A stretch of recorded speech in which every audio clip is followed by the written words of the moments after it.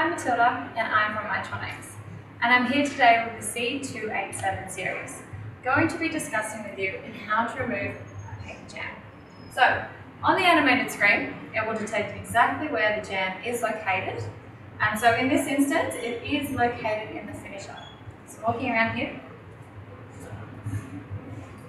opening up the compartment like so,